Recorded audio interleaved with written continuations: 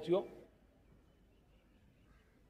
हमारे पास 75 साल का अनुभव है।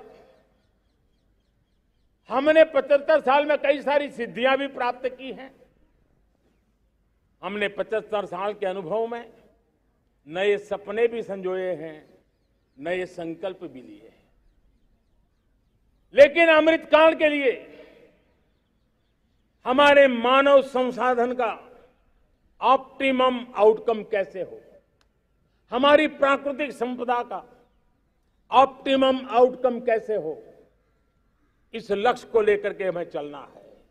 और तब मैं पिछले कुछ सालों से अनुभव से कह चाहता हूँ। आपने देखा होगा, आज अदालत के अंदर देखिए, हमारी वकील के क्षेत्र में काम करने वाले हमारी नारी शक्ति किस ताकत के साथ नज़र आ रही है। आप ग्रामीण क्षेत्र में जनप्रतिनिधि के रूप में देखिए। हमारी नारी शक्ति किस मिजाज से, समर्पित भाव से अपनी गाँवों की समस्याओं को सुलझाने में लगी हुई है। आज ज्ञान का क्षेत्र देख लीजिए, विज्ञान का क्षेत्र देख लीजिए, हमारे देश की नारी शक्ति सिरमौर नज़र आ रही है। आज हम पुलिस में देखें, हमारी नारी शक्ति लोगों की सुरक्षा की जिम्मेवारी उठा रही है। हम जीवन के हर क्षेत्र में देखें, खेलकूद का मैदान देखें या युद्ध की भूमि देखें, भारत की नारी शक्ति एक नए सामर्थ्य, नए विश्वास के साथ आगे आ रही है।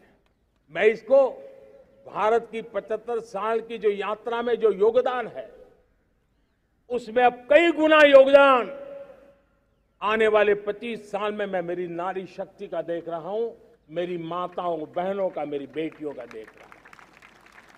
और इसलिए ये सारे हिसाब किताब से ऊपर है, सारे आपके पैरामीटर से अतिरिक्त है।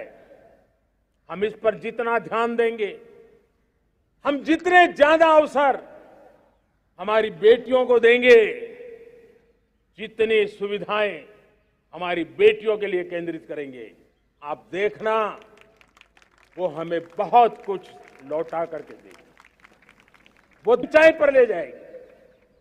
इस अमृत काल में जो सपने पूरे करने में जो मेहनत लगने वाली है, अगर हमारी नारी शक्ति की मेहनत जुड़ जाएगी, व्यापक रूप से जुड़ जाएगी तो हमारी मेहनत कम होगी, हमारा समय सीमा भी कम हो जाएगी।